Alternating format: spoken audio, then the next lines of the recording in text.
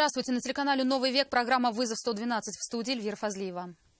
И сегодня мы расскажем о наезде внедорожника на трехлетнюю девочку. Он, видимо, между мной хотел проскочить. Дочку не увидел. Сейчас говорит, что вообще ничего не было. Ребенок получил тяжелые травмы.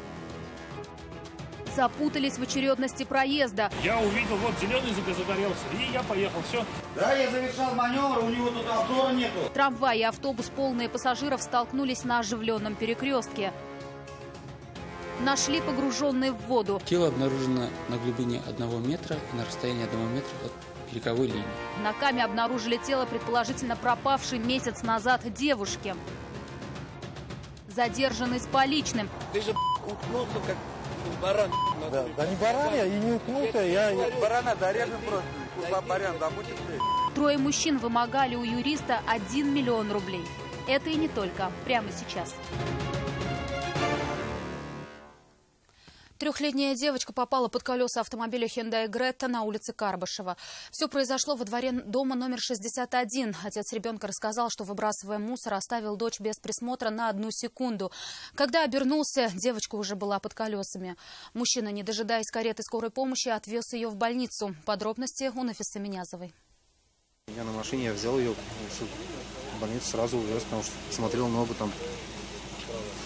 Сейчас уже в больнице, сейчас на операцию. Отец девочки находился в состоянии эмоционального шока. Сразу после наезда мужчина, не дожидаясь медиков, решил самостоятельно довести дочку до больницы. Ребенок, как выяснили медики, получил закрытые переломы большеберцовой кости со смещением. Пока шла операция, папа пострадавший вернулся на место аварии и вызвал сотрудников госавтоинспекции. Чем вероятнее всего и вызвал недовольство водителя Хиндая. Я мусор только открытый выкидывал, вот он здесь мусор стоит. Вот так тут на дороге стоял, он, видимо, между мной хотел проскочить. Дочку не увидел. Сейчас говорит, что вообще ничего не было. Что он наговаривал на него. Он сперва, типа, я с тобой как мужик хотел договориться, типа так не поступает, что-то на меня начал наезжать, когда я ДПС вызвал. Подтвердить или опровергнуть эти слова, а также рассказать свое видение произошедшего водитель Хиндая не пожелал. Конечно, не виноват. Убери свое это. Наезд произошел на территории двора, где пешеходы имеют преимущество перед автомобилями. И водителю с высокой вероятностью не удастся избежать ответственности. Степень вины определят на разборе в ГИБДД. Нафиса Минязова, Ират Назипов, Константин Бушуев, вызов 112. Один думал, что еще можно, а другой, что уже пора. Автобус и трамвай столкнулись на пересечении улицы Адарадского и проспекта Имашева. Авария с участием общественного транспорта произошла из-за того, что участники аварии не разобрались с очередностью проезда оживленного перекрестка. Мнение сторон в материале Анны Градновой. В момент столкновения в салонах обоих транспортных средств находились десятки пассажиров. Несмотря на удар, никто из людей не пострадал. По предварительной версии, вагон снес автобус, когда тот поворачивал налево с улицы Адарадского на проспект Ямашева. Да, я завершал маневр, у него тут обзора нету. Вот у него не видно же, вот это вот эта подземка же есть.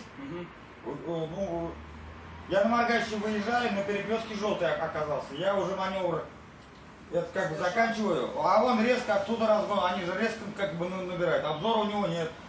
И мне задний человек прислал. Водитель трамвая также не считал себя неправым. Вагоновожатый был уверен, что не нарушал правил дорожного движения. Я увидел, вот зеленый загорелся, и я поехал, все. Учитывая, что оба участника ДТП настаивали на своей правоте, с высокой вероятностью им предстоит разбор в автоинспекции.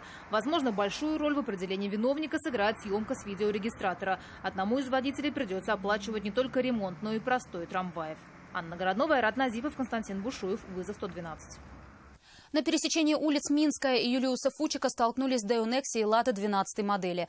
Автоледи за рулем отечественного автомобиля предпочла покинуть место ДТП еще до приезда сотрудников автоинспекции. Ее разбитую машину обнаружили чуть позже во дворе близлежащих домов. Вскоре нашли и саму девушку. При проверке документов сотрудники ДПС почувствовали исходящий от нее запах спиртного. Алкотестер показал порядка 0,7 миллиграммов чистого алкоголя на литр выдыхаемого воздуха. С высокой вероятностью девушке придется заплатить штраф, а также также забыть о водительских правах на ближайшие годы. Ее машина уже была отправлена на штрафстоянку. В Нижнекамском водохранилище обнаружено обезображенное тело мужчины. Его заметили рыбаки и сообщили в экстренные службы. Останки человека были извлечены на берег. По предварительной версии, они пробыли в воде несколько недель. При себе у погибшего были обнаружены только ключи. Лицо было сильно изуродовано. Предположительно, его объели рыбы. Это сильно затруднит установить его личность. На данный момент она направлена на экспертизу, которая позволит установить причину смерти мужчины. Проводятся иные мероприятия, направленные на установление всех обстоятельств произошедшего. По результатам проверки будет принято процессуальное решение. На Каме вблизи набережных Челнов обнаружили полуобнаженное тело. Информация об этом поступила в единую дежурно-диспетчерскую службу 112 накануне в 8 часов вечера. В район садового общества «Любитель природы» выехали сотрудники зонального поисково-спасательного отряда. Они достали погибшую тело, находилось под водой. Айрат Назипов узнал, что это может быть пропавшая месяц назад молодая девушка.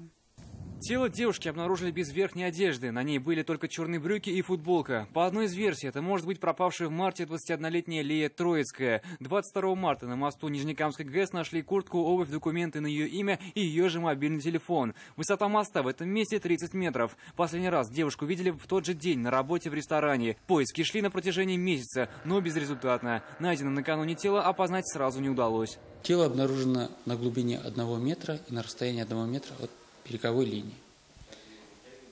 Личность устанавливается правоохранительными органами. В настоящее время идут дополнительные, э, дополнительные оперативно-розыскные мероприятия по, по установлению личности. Результатов экспертизы пока еще нет. Однако родственники девушки опознали тело по отдельным признакам. В группе в социальной сети, которую создали близкие Лии Троицкой, также появилось сообщение о том, что поиски завершены. Айрат Назипов, Ландыш Капранова, Дмитрий Кравченко, вызов 112. Сегодня в Советском районном суде Казани допрашивали свидетелей по уголовному делу о незаконном обороте больше тонны наркотиков.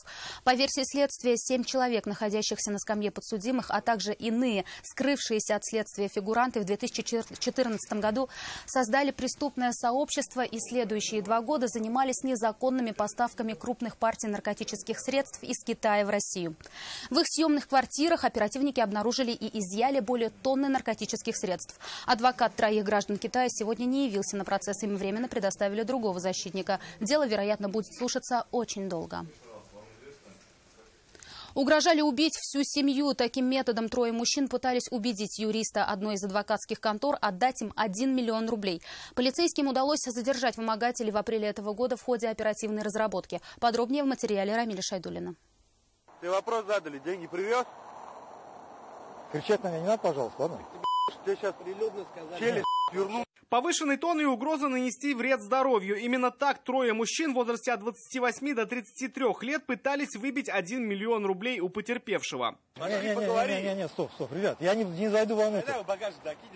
В ходе следствия установлено, что жертвой вымогательства стал юрист, работавший в адвокатской конторе, принадлежавший одному из подозреваемых.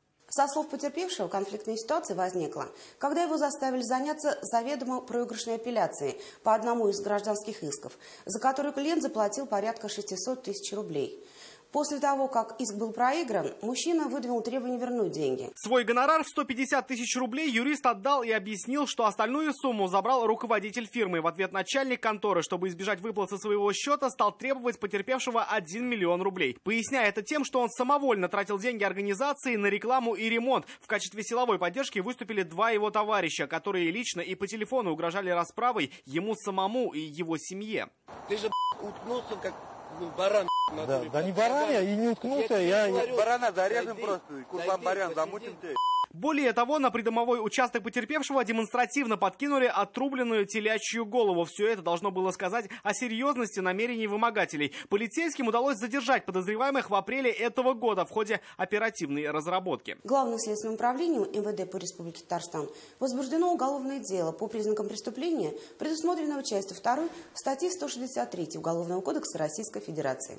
Судом Вахидского района Казани в отношении всех обвиняемых избрана мера пресечения в виде заключения под стражу. Также выяснилось, что все трое задержанных участники одной из преступных группировок Казани, двое из которых ранее судимы за умышленное причинение вреда здоровью и подделку документов. Рамиль Шайдулин, Фиса Минязова, вызов 112. Это все, о чем мы успели вам рассказать. Обо всех происшествиях вы можете сообщать нам по телефону 570 50 50 или на мобильный 8 98 69 112 112. Это можно сделать и в нашей группе ВКонтакте. Туда же можно присылать и снятые вами видео. В студии была Эльвира Фазлиева. До встречи и не бросайте вызов судьбе. Вдруг она его примет.